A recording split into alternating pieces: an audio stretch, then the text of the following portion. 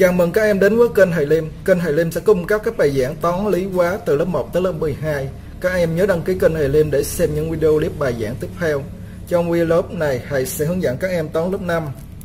Trang 136 à, chia số đo thời gian cho một số. Giờ bài này mình sẽ học là chia số đo thời gian cho một số nha. À, à, ví dụ 1, hãy khi đấu 3 quán cờ hết 42 phút 30 giây hỏi trung bình Hải khi đấu mỗi ván cờ hết bao lâu? Bao lâu có nghĩa là hỏi thời gian mỗi ván cờ nha. Ba ván cờ thì hết là 42 phút 30 giây. À, hỏi một ván cờ thì mình cứ việc lấy là 42 phút 30 giây này mình chia cho ba là ra kết quả nha. Giờ như vậy ta phải thực hiện phép chia.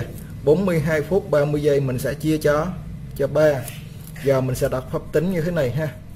À, 42 phút 30 giây chia cho 3 giờ mà trước hết là lấy 4 chia 3 được 1 à, 1 nhân 3 là 3 4 trừ 3 còn 1 2 đem xuống 12 chia cho 3 được 4 hết. Giờ 30 giây này mình đem xuống 3 chia 3 được 1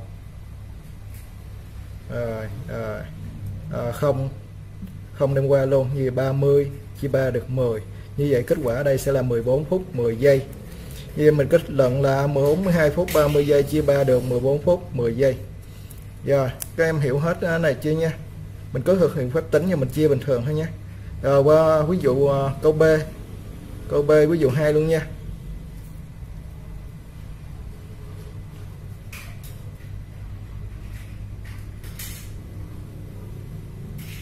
Giờ ví dụ 2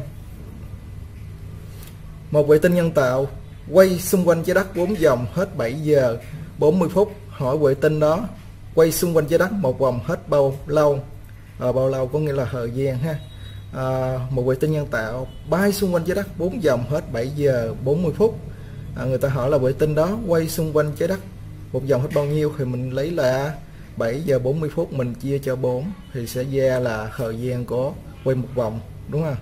À, như vậy mình sẽ thực phép thời gian phép chia nha ta phải thực hiện phép chia. 7 giờ 40 phút chia cho 4 giờ như vậy ta đặt tính. Giờ tính như sau. 7 giờ 40 phút. Giờ mình chia cho 4 thực hiện phép chia như vậy ha. Như vậy là 7 chia 4 được 1 1 nhân 4 là 4 7 chia 4 còn 3 như vậy là 3 giờ. À, 3 giờ này mình sẽ đổi qua phút. Để mình cộng dồn với là 40 phút luôn nha. 3 giờ mỗi giờ là 180 như vậy 3 giờ là mỗi giờ là 60 phút ha. 3 giờ, mà mỗi giờ 60 phút 3 nhân 60 bằng 180 phút. 180 cộng với 40 phút thành 220 phút. Giờ 220 này mình sẽ chia tiếp cho 4 22 chia 4 được 5 5 nhân 4 20 như này dư 2 đem xuống. Không không, đem xuống. 20 chia 4 được 5 như vậy là hết. Như vậy kết quả của phép tính này sẽ là 1 giờ 55 phút. Rồi như vậy mình kết luận là 7 giờ 40 phút chia 4 bằng 1 giờ 55 phút.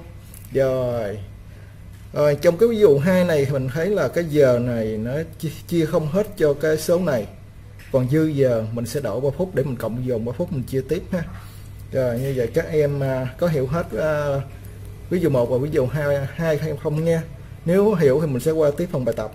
Còn em nào không hiểu thì để lại nhận xét phía dưới video thầy sẽ giải thích xem tiếp nha. À, sẽ giải thích thêm nha.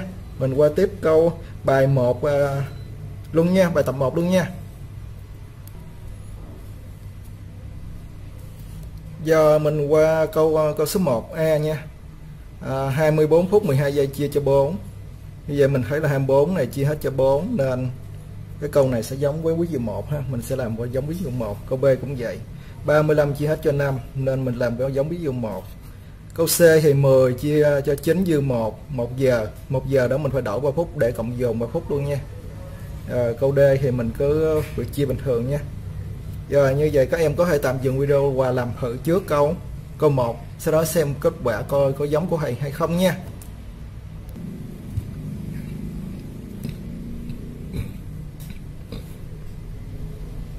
Giờ mình làm câu số 1A trước nha. 24 phút 12 giây chia cho 4 giờ mình lập pháp tính giống vậy à, trước hết mình lấy 24 chia cho 4 được 6 hết ha giờ 12 giây đem sướng 12 chia cho 4 được 3 cũng hết luôn. Như vậy kết quả cuối cùng là 6 phút 3 giây. Giờ câu A này tương đối dễ nha, mình sẽ qua tiếp câu câu B luôn nha.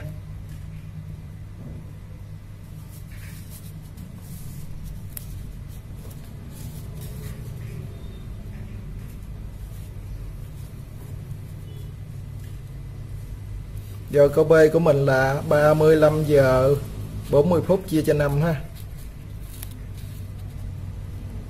Giờ 35 giờ 40 phút chia cho 5 à, mình thực hiện lập phép tính giống như vậy. À, 10, 35 chia hết chia 5 được 7 hết luôn nha. Như giờ 40 phút đem xuống 40 chia 5 được 8 8 phút nha. Cũng hết luôn. Như vậy kết quả câu B sẽ là 7 giờ 8 phút. Giờ câu A câu B tương đối dễ ha. Mình sẽ qua tiếp câu C luôn nha. Giờ câu C 10 giờ 48 phút chia cho 9 giờ mình à, lập phép tính giống vậy.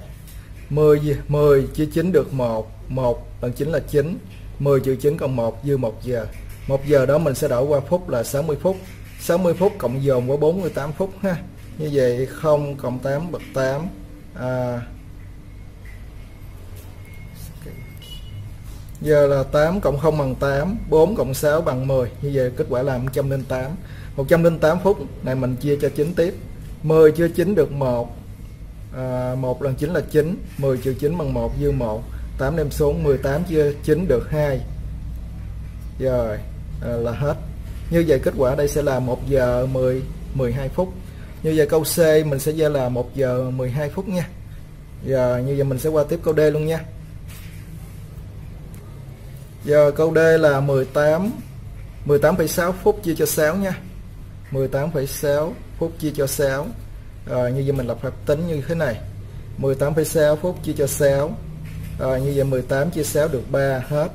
Ờ, à, 6 đem xuống 6 chia 6 được 1 bên đây có một dấu phẩy trước một con số này thêm dấu phẩy vô đây. Như vậy kết quả sẽ là 3,1 phút. Giờ như vậy là câu mình xong câu số 1 ABCD luôn nha. Có em nào có đáp án giống của thầy thì để lại nhận xét phía dưới video ha. Cho thầy và các bạn cùng xem nha. Còn em nào không hiểu chỗ nào cũng có thể để lại nhận xét để thầy giải thích thêm nha. Mình sẽ qua tiếp câu số 2 luôn nha. Giờ câu số 2 của mình. À, một người thợ làm việc từ lúc 7 giờ sáng 7 giờ 30 phút ha. Một người thợ làm việc từ lúc 7 giờ 30 phút đến 12 giờ và làm được 3 dụng cụ. Hỏi trung bình người đó làm một dụng cụ hết bao nhiêu thời gian? Như vậy là người ta là cho là người thợ làm việc từ 7 giờ 30 tới 12 giờ thì làm được 3 dụng cụ. Nhưng ta hỏi là thời gian để làm hết một dụng cụ. Như vậy trước hết là mình phải tìm thời gian làm 3 dụng cụ đó ha. Lấy 12 giờ này trừ 7 giờ 30 phút. Rồi sau đó có thời gian đó mình sẽ chia cho ba nữa là xong nha. Rồi các em có thể tạm dừng video qua làm thử trước câu số 2 sau đó đối chiếu với kết quả của thầy xem có giống hay không nha. Giờ trước hết mình tính thời gian người thợ làm được ba dụng cụ ha mình lấy sẽ lấy 12 giờ trừ cho 7 giờ 30 rồi à, à, 12 giờ trừ 7 giờ 30 thì được 4 giờ 30 nha. Mình sẽ lấy một phút lấy một giờ ra. Lấy một giờ ra đổi thành 60 phút. 60 trừ 30 còn 30 à, ờ, cái này bớt một giờ là 11 giờ trừ cho 7 là 4 giờ. Giờ kết quả này sẽ là 4 giờ 30 phút nha. Rồi sau đó mình sẽ trả lời câu à, câu hỏi của người ta. Người ta hỏi là trung bình người đó là một dụng cụ hết bao nhiêu thời gian? Thì mình trả lời là trung bình người đó là một dụng cụ hết số thời gian là mình lấy 4 giờ 30 chia cho 3 à, 4 chia 3 được 1 giờ. Gồm 1 à, dư 1 nha. 1 giờ thì mình à, đổi thành phút là 60 phút. 60 cộng với 30 là 90 90 chia 3 được 30 phút. Như vậy kết quả ở đây sẽ là 1 giờ 30 phút giờ như vậy đáp đáp số của mình sẽ là 1 giờ 30 phút. Giờ câu số 2 của mình sẽ là kết quả cuối cùng là 1 giờ 30 phút. Giờ có em nào có lời giải và đáp số giống thầy hay không? Để như là nhận xét phía dưới video cho thầy các bạn cùng xem nha. À, video clip đến đây là kết thúc. Các em nhớ đăng ký kênh thầy Liêm để xem những video clip bài giảng tiếp theo. À, chúc các em học tốt. Tạm biệt các em.